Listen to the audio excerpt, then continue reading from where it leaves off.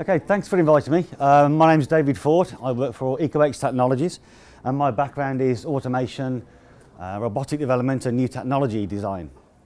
I got uh, introduced to our CEO, Vince, of Eco-H Technologies, and um, we very quickly developed new concepts and ideas for energy storage.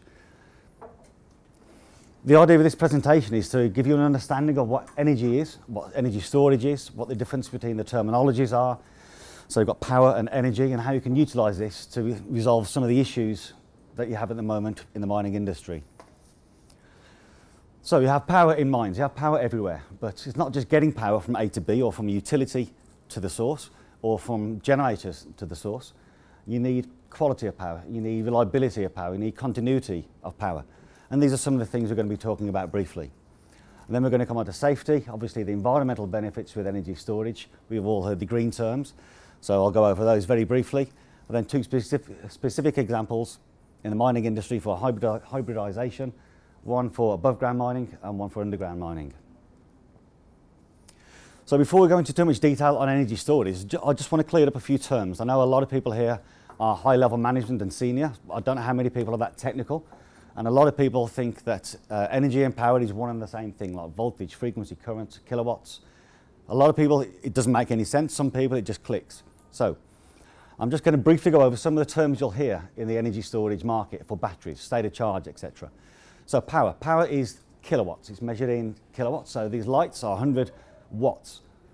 Okay, so power is the, is the size of the power that you've got. Energy is the duration you can sustain that power. So for example, if you have a battery that's one megawatt and one megawatt hour, you can draw out of that or discharge that battery at one megawatt for one hour. It's a very simple linear relationship as well. So somebody here mentioned numbers, but she's just left. That's great. So you've got one megawatt for one hour. That's one megawatt hour system. But if you draw 500 kilowatts, you can then draw that for two hours. 250 kilowatts, you can do it for four hours, and so on and so forth. So it's a very simple linear relationship between power and energy. SOC, state of charge, how much power is in the battery is measured in percentage. So if you have a typical 9 volt battery, that'll be fully charged, that's 100%. When you take out 50% of it, you've, you've taken out 50%, so you're left with 50% depth of discharge. The way I remember this, there's a small d at the end of discharged. So it's what's discharged. So if, if a battery or an energy storage system has a state of charge of 40%, then it's discharged 60%. So there, there's a relationship. EOL, you'll hear BOL and EOL. BOL is beginning of life, EOL is end of life. Beginning of life is obviously a brand new system. EOL doesn't necessarily mean that the system has to be thrown away or discarded at the end of life. If you've got a five-year warranty or 10-year warranty or extended warranty, EOL basically means that you only have 70% of the available capacity to recharge. So if you have a one megawatt hour energy battery system or energy storage system, the end of life means you can only now store it back up to 70% of its original capacity. So that one megawatt hour system is now only 700 kilowatt hours. C rates. These are what battery companies play with and they, they tell you the truth when it benefits them and they just do a lot of marketing gumph as well. And I'll explain this in a bit more detail. So if you have a battery system or energy storage device and it's got one megawatt hour, so you discharge one megawatt for one hour. If it's got 1C recharge rate, then you can throw one megawatt back into it, and in one hour, it's recharged. Again, very simple math. If it's got a 2C charge rate, then you can discharge by one megawatt. You can throw 2C or twice that power back into it, so you can recharge in half the time. Lithium ion technology is now getting close to 5C for discharging and for charging, depending on the, the battery chemistry that, that you use. Lithium ion, phosphate, manganese, etc. Uh, we use nickel cobalt and we use LG batteries and SAFT batteries and we've got up to two and two and a half C rates now. So they're improving all the time. But what some energy storage manufacturers will do is instead of having one battery and doing a test on one battery, they'll put 10 in a line or 20 in a line or 100 in a line and take the average. And that average generally is higher than it is for one individual battery. So you get sort of inflated numbers. So you need to be aware of uh, what you're actually getting. I put this on here to show what typical lithium ion batteries, um, what the depth of discharge is and the number of cycles and what it all means. Because it's all about this big word here, cycles. Cycles is the key in lithium ion technology. When you buy a battery, you don't get a one warranty for one year or a guarantee for one year or two years or three years. You get a number of cycles, and this is a logarithmic. Uh, numbers ladies back. So this is a logarithmic curve. So you're basically adding a zero each time. So for example, a typical handset cell phone, uh, BlackBerry or, or Android, will have 300 cycles or be designed to last approximately 300 cycles. So that's 100% state of charge down to zero, back up to 100% state of charge again. One full cycle. 300 of those and the battery is deemed end of life. We've just seen that end of life doesn't mean dead, it means you can only recharge back up to 70%. Now the chances of people discharging from 100% to zero and back up every day is zero. Everyone has a phone charger on the phone, on the, sorry, in the, on the, in the office or in the car or at home. So that 300 cycles, if you only discharge to 50% and back up to full again, you've only used half the cycle. So now, logarithmically, you've now gone from 300 cycles to 3,000 cycles. If you discharge at 25%, that 3,000 cycles is now 30,000 cycles. Consequently, if you discharge to 12.5% the back up again, you've now got 300,000 cycles. So you can see how you use the energy storage and how you use the energy, not the power component, the energy, will dictate how many cycles you have, and that will dictate the, uh, the life cycle of the system itself. We dragged the oil and gas industry kicking and screaming into the 21st century with energy storage. We were always told that you're never going to get into oil and gas because everybody wants big black smoke. Uh, oil rigs on land and gas rigs on land, they're designed for peak power. So when someone's designing a rig, they'll work out that at one point in time, if everything's switched on, and worst case scenario, you'll need four megawatts of power, there'll be four one megawatt generators there, and they'll all be on. They're all needed. The average power might be 800 kilowatts, but you still design it for four megawatts. That's the philosophy, that's the, the mindset. So with our energy storage system, we could go to the oil and gas industry, take up all these transients, these megawatt plus transients in both positive and negative, so now we're charging and discharging at the same time. And we noticed that we could switch off not one generator, but two generators. So now you have four generators, one's a backup, three are running. Two of these were switched off, leaving one generator on running itself for up to 20 to 30 days with a battery storage system, taking up all the transients. So what we do is an energy storage system, as you know, it charges and discharges. So it's a load and it's also a generator. And it switches between the two very, very quickly typically sub one cycle or sub half a cycle if you're looking at a sine wave. So the switching is very, very fast between charge and discharge. And because of that, we can pick up transients and we can uh, counteract them and uh, allow for these, um, for these high loads in, in, uh, and drops in frequency and drops in voltage as well. So we know this in commercial, we know the industry, uh, sorry, industrial, military have been using renewable energy for a long time. Uh, we've actually developed a system for the military, which is a portable containerized solution which just drops in right at the very front line for communication and for power for the guys who are in the field. And then there's zero heat signature and there's zero noise. Once it's depleted, it picks up again, drop it off, put a new one down. And it gives immediate stored energy to the front line for the armed forces. Obvious solutions, again, these are the sort of terms that we're all aware of. It's all green industry. We read about companies doing this thing all the time. A few we might not be aware of down here, global adjustment, and peak demand management. That's pretty much just for Ontario. But I will go over those because they're quite important and I was specifically asked to mention this towards the end of the presentation. Again, there's a lot more numbers involved in this, so a few people will be happy with that. Uh, quality of power. We said, yes, to get power from the utility or from generators to, to where it needs to be in the mining or in, the, in your production process. And typically that's what you should be getting. Perfect amplitude, positive and negative. Nice and simple. Very sinusoidal. If there's a blip in frequency, which could be something to do with the engine, it could be um, dirt in the fuel, it could be ice on the line, it could be utility, it could be anything. We don't know what it is. But occasionally you get blips in frequency. And that causes issues with VFDs and computer controls and automation systems. Because what they tend to do is they shut themselves down to save themselves. So a typical VFD control system runs on 60 hertz supply or motor control or any computerized system. And it has a, it has a tolerance of, let's say, 5%. So if that frequency goes to 65%, it'll still operate. If it goes to 50, down to 55%, it will still operate. If it goes out of that range, then it causes big problems for the actual hardware itself, and the software finds a problem with it. So it kills itself and it shuts down. So there's no way to, to determine or to predict when these are going to happen, but the result is that things shut down, hardware shuts down, again, to save itself. Similarly, with voltage spikes, we can see a huge voltage spike here. Um, A little bit of math, just very quickly, because I won't bore you. Watts is proportional, or watts are proportional to voltage and current. So you can have a high voltage, low current, and have the, the same watts. You can have low voltage, high current, and the same watts. So you get the same output here, but because you get a spike in the voltage, then that means your current could drop. Consequently, you could get a drop in the voltage, which means the current's going to spike. So again, that causes issues for hardware systems and VFDs and controls. Reliability. So now we talked about quality. We talked about continuity. Now reliability. You need to make sure you get power all the time. So we've got good power now. How do we maintain it? How do we make sure that it always gets to where it needs to be? Energy storage and generators on a typical site. One's out for maintenance, and you've got, depending on the site's uh, load capacity, could have three, four, five, six megawatt generators to, to feed the standard AC bus. This is just an AC line bus for those of you that aren't electrical. It's just a big copper bar, bus bar, everything's powered from there. All to the circuit breakers, to the loads, to the machines, to everything else.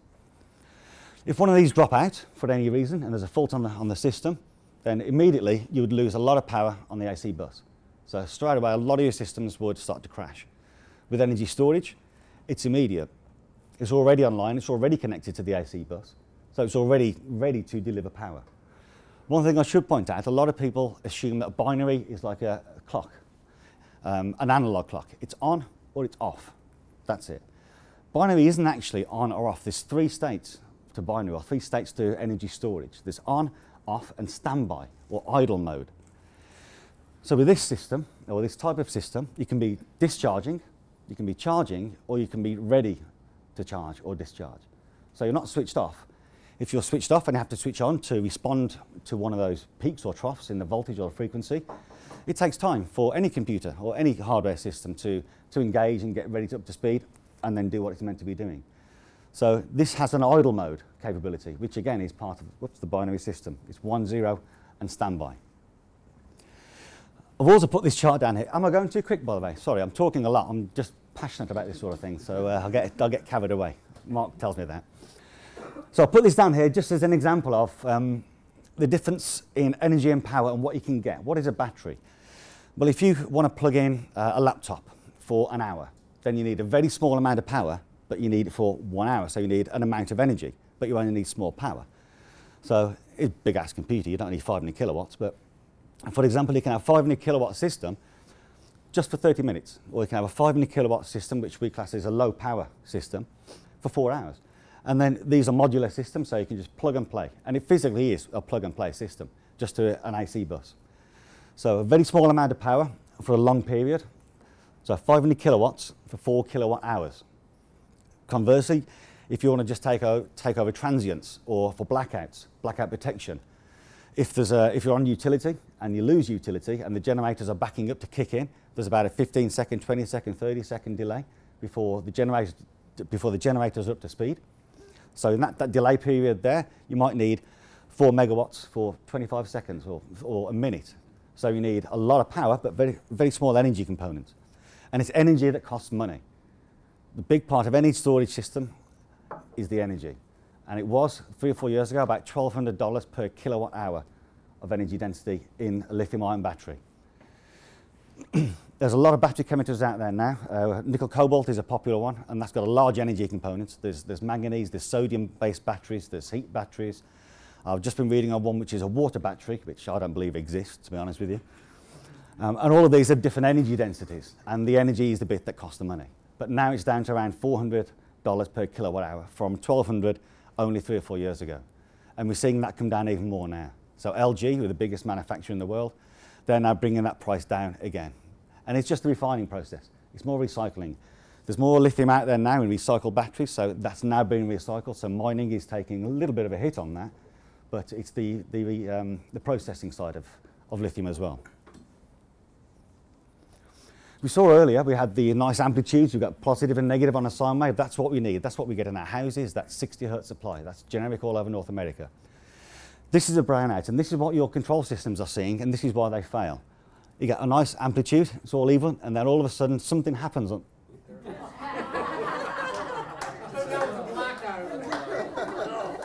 you see, you need a UPS, you need an energy storage.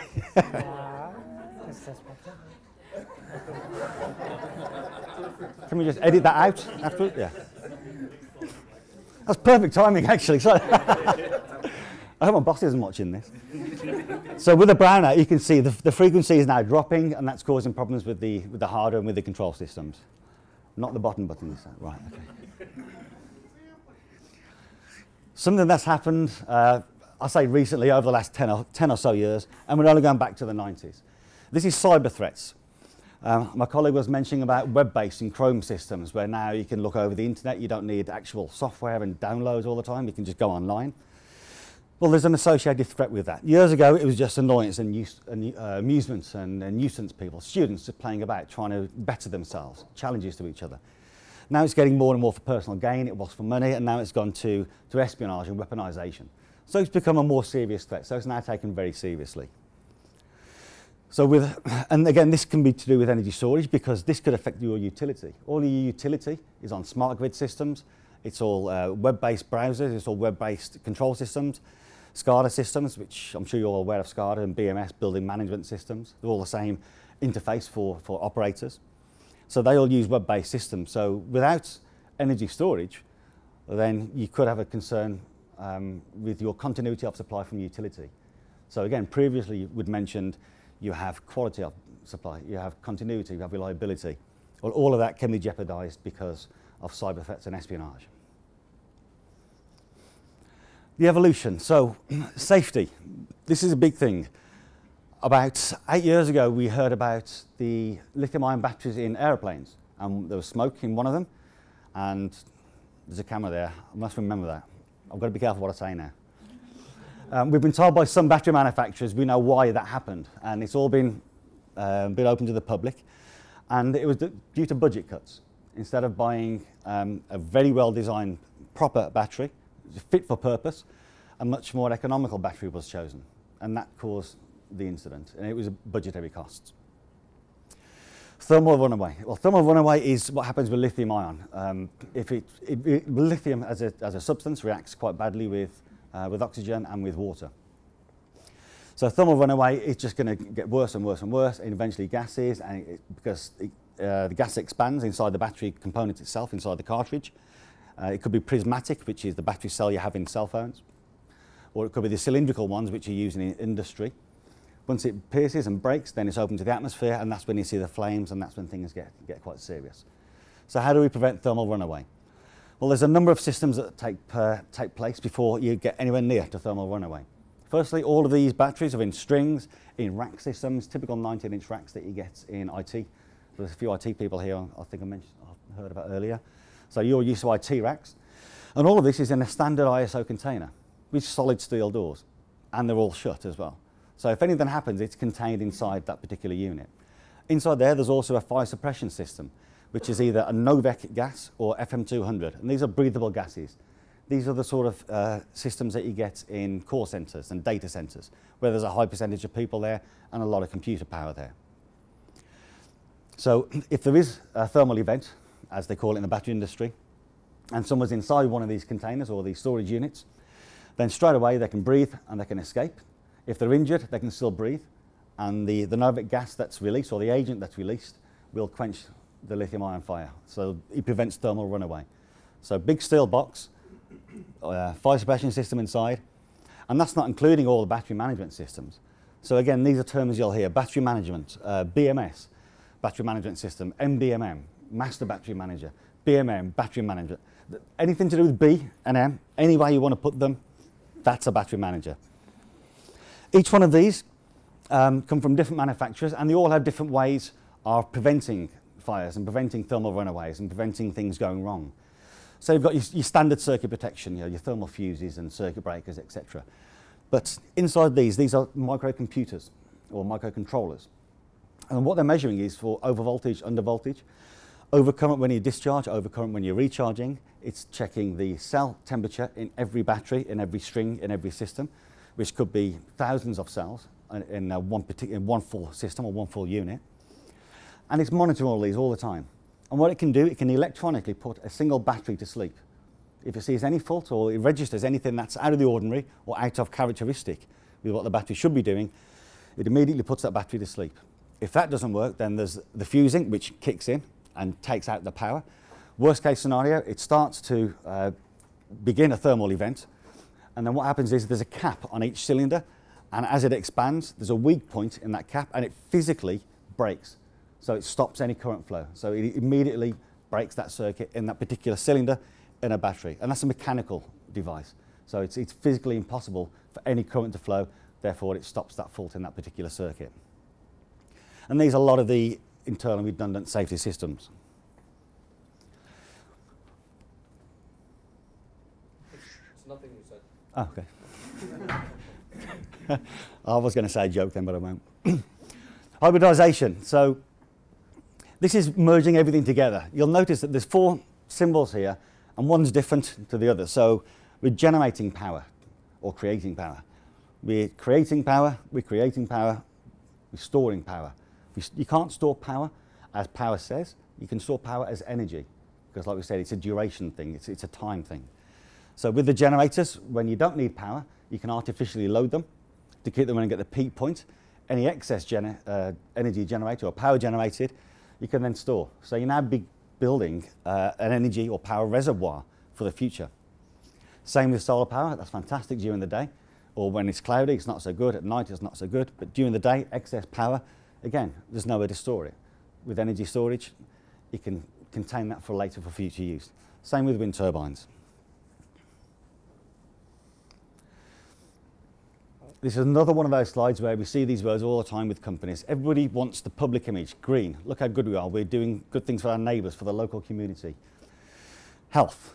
Yes, you've got less emissions, you've got smaller engines, you've got less engines. So yes, it's going to be a cleaner environment. So that's a good, good thing. Marketing people love, love these. Are the strategies that businesses have for, um, for portraying a green image because they're using less diesel or less, um, less um, oil and gas and more renewable energy systems. Noise reduction, if you've got less generators, is going to be a quieter system. So again, the neighbours and the birds are going to be happy about that. Reduction in fuel costs and reduction in fuel storage. This one here, fuel storage, that's something that not many people are aware of. In the oil and gas industry especially, it's not just the fuel cost for running extra engines, it's actually transportation of fuel. Because you don't have an oil rig or a gas rig on site downtown Toronto. It's in the middle of nowhere, it's by Timmins, it's way up north. So you've got to get diesel out there first. So you've got this big haulage truck with belching fumes going all the way out there. Then you've got to store it somewhere. So there's a risk associated with storage. And then the truck leaves empty to go back again, belching black smoke, and then back again. So it's the delivery of the fuel as well as storage. And again, all of these are reductions, all to do with OPEX, bringing down the operational expenses, expenses on a site. Smart grid, we have these in homes, but we're seeing this coming into industry now uh, in many different ways. I'll come on to this one right at the very end of the presentation because it's a, it's a new development that we've been looking into. Uh, but load shedding, so um, in Ontario especially, we look at global adjustments in a moment. And one thing that happens in Ontario is if there's a bakery that's just about to switch on down the road and it's three in the afternoon, they phone the, the utility company and say, we're switching on all our, all our ovens. So we need extra power in two hours time. The utility company will then phone around local uh, businesses and ask them if they can curtail power. And they will buy back some of their power that they're not using. So you get paid for running down the business. And then that means that there's no or less stress on the utility infrastructure. And there's enough power now for this bakery to do what it needs to do at that particular time of the day. So that's called shedding load or time shedding. And that's what a lot of companies are now looking into. Again, this is just in Ontario. Improved asset utilisation. Well, that's, that speaks for itself if you've got smart grid control systems, then you know what's on, you know what's off. You know, um, you can monitor remotely. You've got telemetry, so you can see which engines need a change or need to overhauls or maintenance. You know what your your loads are. You know what your expected loads are historically. You can map and project what's going to happen in the near future. So again, you, you're utilising your assets much better. And if you have energy storage system there as well, you know how much energy you've got stored for what duration, how much power. So again, it helps you to, to map the near-term future for all the assets that you've got on your fleet. Uh, modular distributed energy storage uh, is next. Something to look forward to. When we went to um, New Gold up north, they told us that they had a specific problem they wanted us to have a look at, which was anti-idling. So basically one driver, two machines. Gets in his truck, drives down to the, to the open face, gets in his excavator, leaves a truck on because he doesn't want to get cold cab or warm cab, does what he needs to do, leaves the excavator running, goes back to his cab, goes up to the top, comes back down again to the face. Keeps doing that all day. So typically 14 hours a day. These are the numbers that we've been told. We're anti-idling, so just ticking over. And these are know, big engines. So with energy storage, you get a much smaller device, just on top of the cabs, and this is what we developed um, together with a few other companies. So now they switch off the engines, and all you need is power for heater, lights, C and BC, and radios. So you need a small amount of power, but for a longer duration. So now you need an energy component, but only a small amount of power. And that saved them, they estimated, more than $200,000 per year. So immediately the ROI is, is, uh, is very, very good there and easy to calculate as well. Regenerative braking, this could be to do with mine shafts, it could be to do with um, a, a number of different aspects of electrical engineering. But basically, you put electricity into a motor and it spins round. If you take the electricity off and put a voltmeter on that motor and spin it by hand backwards, it becomes a generator. Very simple electrical engineering. People say it's complicated. It really isn't. So you can see power goes in, motor spins round. You spin it by hand backwards, motor power goes out the other way. Well, if that power is connected to, you, to your utility or, or your generator, then power is going to go back in there and cause some problems. So regenerative braking is now diverted to load banks or heaters. So now you're burning off all this excess energy. So why can't you use it? Well, you can't use it because you can't throw it back in. There's nowhere to store it. So if, with an energy storage system or a battery system, any of this regenerative energy can be used. And again, it all tops up your energy reservoir for later whenever you need it. This is a concept we, asked to, um, we were asked to look into, which is as a mine progresses with its production, uh, different levels, different veins, etc., you have energy storage devices. And these can be either uh, roll skid, there can be trailer-wise solutions, or there can be forklift pocket solutions. And the idea is that we work together with um, some electric vehicle companies who I believe they're giving a presentation later on this year.